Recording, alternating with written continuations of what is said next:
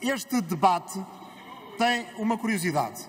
Para um tema que é tão polémico, tão polarizador, tão, uh, tão cheio de temas que provocam, uh, enfim, uma resposta social que os populistas exploram. Na verdade, depois chegamos ao fundo do tema e está toda a gente de acordo com uma coisa. Todos os grupos parlamentares aqui dizem, e a senhora deputada única também, Portugal precisa de imigrantes. Não houve ninguém que não dissesse isso. Portugal precisa de imigrantes que venham para Portugal trabalhar e a boa notícia é que os imigrantes vêm trabalhar. Os imigrantes, está estudado, vão para onde a economia cresce e onde há trabalho e, em geral, saem quando a economia contrai e quando deixa de haver trabalho. E quando os imigrantes vêm, ajudam a economia a crescer também, como aliás tem acontecido em Portugal. Portanto, a boa notícia é que o que falta a fazer é garantir que esta imigração de que precisamos, até o proponente admite que precisamos dessa imigração, que ela seja regulada, que seja através de canais legais e que possa contribuir para o todo nacional de uma forma a que não sejam explorados os trabalhadores e que também seja reconhecido que com cada trabalhador vem uma pessoa que tem a sua dignidade e os seus direitos. Não, tenho, não, não ouvi sequer grandes reações do Chega, só se chateou muito com a saudação inicial. Portanto, aparentemente estamos todos de acordo com isto. O que há a fazer é procurar a melhor maneira de fazer isto.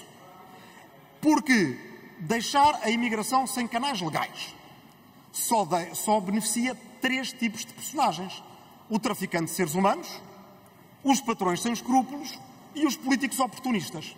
De resto, mais ninguém beneficia. Ter. Ah, Afinal, reagiram com os políticos oportunistas. Dá. Porque, na verdade, de toda a conversa que se faz aqui sobre a AIMA e anos sobre o CEF, há uma instituição nacional de que eu nunca ouço falar e que é crucial para regular a imigração e o trabalho dos imigrantes.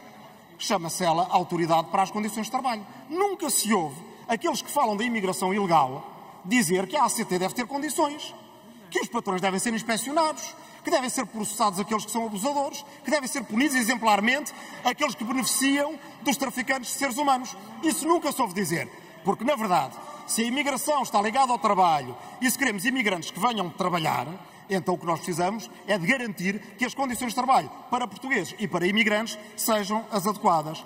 E para isso, evidentemente, é preciso saber quem são as pessoas, é preciso elas terem autorizações de residência, é preciso o Estado poder fazer o seu trabalho.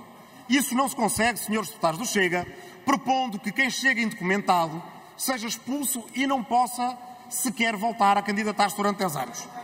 Sabe, sabe, sabem como é que isso se resolve? Garantindo, por exemplo, que os imigrantes a, que, a quem foi negada a entrada tenham direitos, mesmo depois de negada a entrada por exemplo, que tenham direito de acesso ao advogado. Não sei se os senhores deputados do Chega acham mal. Que tenham um direito que muitas vezes não têm, que é o direito de fazer telefonemas para casa, que tenham direito de acesso ao seu próprio telemóvel. Não sei se, aparentemente, o senhor deputado André Ventura não concorda.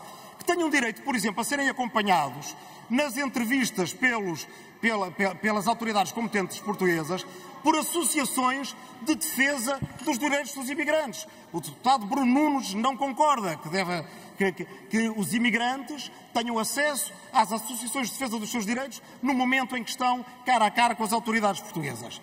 Pois bem, tudo o que está aqui é uma proposta de lei da vossa deputada Cristina Rodrigues, apresentada aqui em 2021.